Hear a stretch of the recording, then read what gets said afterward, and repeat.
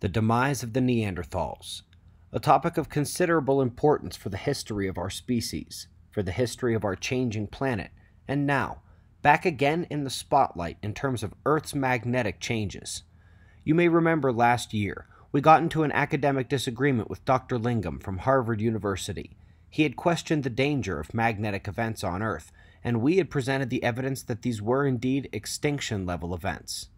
The number one geophysics journal on Earth reported just a few weeks later that indeed they were not only extinction level events, but that they likely took out the Neanderthals. We'll see that paper again today, but the purpose of this video is to address yet another questioning of that paradigm and a questioning of the process in modern academia. So this paper came out in the Quaternary Science Reviews in June the eighth ranked geology journal on Earth, the number one quaternary journal on Earth. This paper by Dr. Axel Timmermann investigated climate change, interbreeding with modern humans, and competition with modern humans to survive, and performed an analysis to see which was more influential in terms of an extinction factor for the Neanderthals. He concluded very definitively that the only realistic scenario is that competition with modern humans drove the extinction. As you can probably tell, this challenges the previous results we've shared.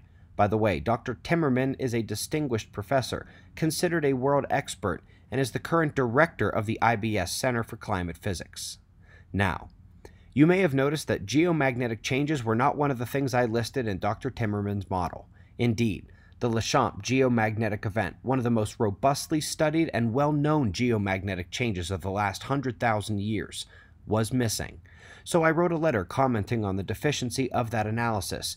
They refused to publish my letter, and so I'll be doing so myself, and once again showing the rationale of the journal as to why they would not publish my letter.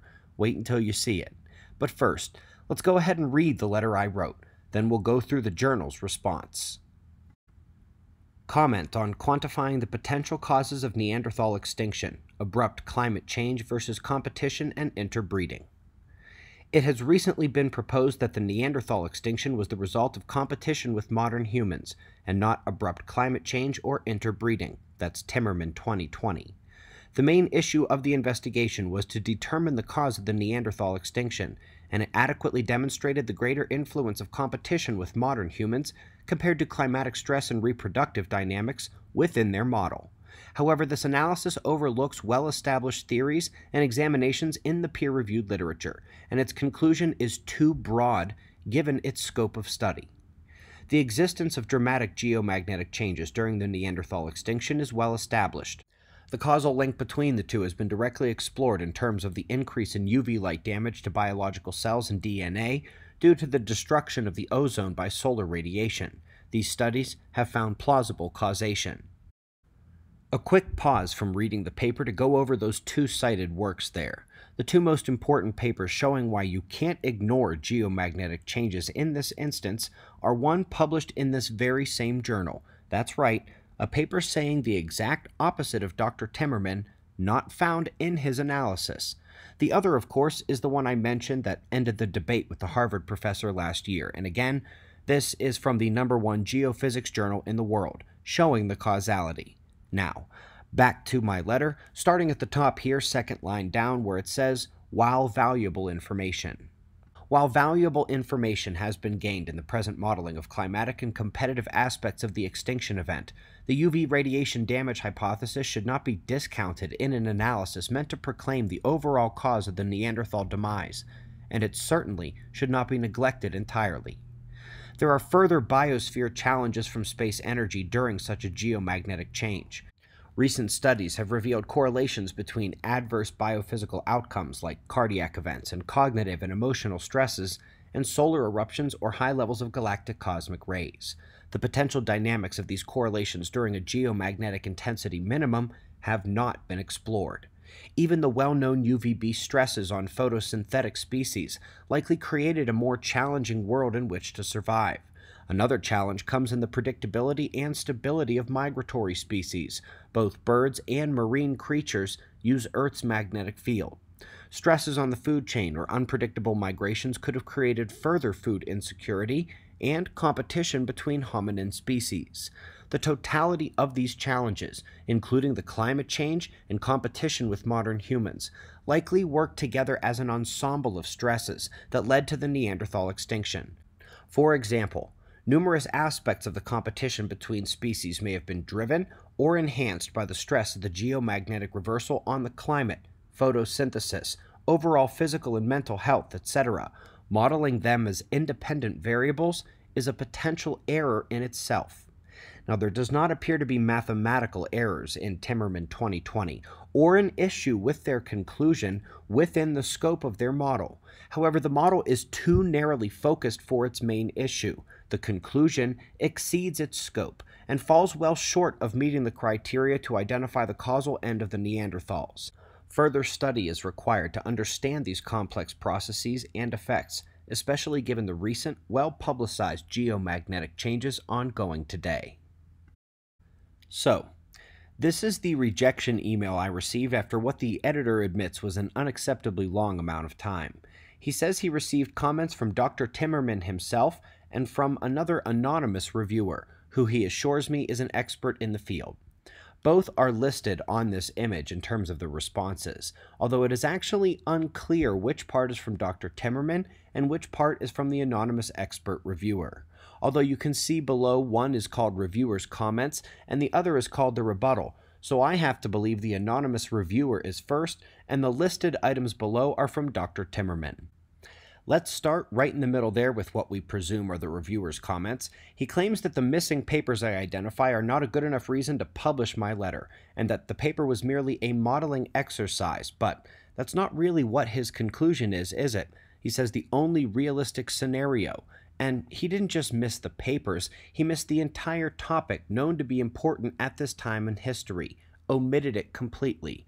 This level of journal cannot be behaving this way, ignoring their own previous papers and the number one journal in the field. Now, let's move on to what we presume is Dr. Timmermann's rebuttal below, and I'll first point out his attention to detail in the listing of items item A, item B, and item 3. Not a good, careful, thoughtful start, Doctor. Now let's start with A, the claim that there are no correlations between extinctions and geomagnetic shifts. That is utterly absurd. If you look at the bottom, by the way, below item 3, the last sentence, he basically says the co occurrence of the Neanderthal disappearance and the Laschamp geomagnetic excursion is a coincidence well, then I suppose it was also a coincidence that the Gothenburg magnetic excursion, about 12 or 13,000 years ago, which has now been shown to have been a global event, occurred right before the Younger Dryas and the extinction of many megafauna. There are numerous indications that other geomagnetic excursions caused significant biosphere stress, including the Blake geomagnetic event, and including a paper that included Dr. Timmermann himself as a co author, and which we'll come back to momentarily. In item B, rebuttal claims there is no way the ozone depletion mechanism would work. He addresses the pigmentation hypothesis of the 10 year old paper published in the same journal, but does not address the genetic differences demonstrated in Channell and Vigliotti from last year. Author clearly did not read this paper or chose to ignore it. He plainly fails to address the relevant work in the number one journal in his own field. Moving on to C, or rather, item 3 as the rebuttal puts it. He says there is no evidence of extinctions at the Icelandic Basin geomagnetic excursion. That one is 188,000 years ago, at least in their models. It is no question why he is ignoring the Gothenburg, Laschamp, and Blake events in the third portion of this comment. And as for the claim that there were not extinctions at that time, we don't really know what happened back then or even if that timing is correct. And so now we come back to that paper previously co authored by Dr. Timmermann. Their paper starts out by brilliantly explaining why you can't just look back 188,000 years and ignore the more recent events. Discussing even more recent time frames, they remark how scant the data is and how uncertain the data is, and I'd love to know what Dr. Timmermann thinks of the ongoing dating debacle. We have the Tibetan ice cap, which had its age cut to potentially a 50th of previous estimates. There's a crater in Australia they thought to be 300,000 years old. Now they think it's 120,000 years old. There are dozens of such examples, and simply no real way to reconcile these results with the totality of geological and paleontology dating. Something utterly unacceptable to me is the ignoring of the other points I made in the letter. I mentioned the biospheric effects of space energy, which are now becoming well explored in the literature. I brought up the UVB problems plants can have, and how changes in the magnetic field stress migrations and various aspects of the food chain. I then explain that not only do these strengthen the case for the geomagnetic cause of an extinction, but that these items, including the climate change at the time, contributed to the competition Dr. Timmermann identifies as the cause of the Neanderthal extinction. Modeling them as separate factors is an error itself. Migration changes, climate changes, and everything else involved in the geomagnetic event would have been a root cause of the enhanced competition with modern humans due to things like increased interactions at more scarce resource zones.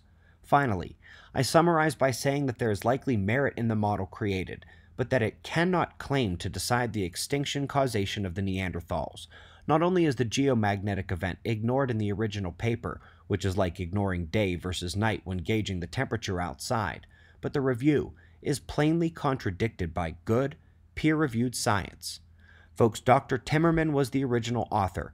Dr. Hillaire-Marcel is the editor of the journal, and the reviewer he brought on board was anonymous. From ignoring well established science to cherry picking for item C, or item 3 as the rebuttal put it, this entire theater is an embarrassment to the QSR journal. Don't think for a moment that ignoring a key topic like the geomagnetic changes is academically acceptable in a paper like this, and don't think a half cocked and factually ignorant rebuttal debunks the world's best writing in the world's best journal. My letter is linked to read for free below this video. I showed the entirety of the rationale provided by the journal. I wonder if they really believe this stuff, or if they just didn't want to publish a letter from the likes of me. Be safe, everyone.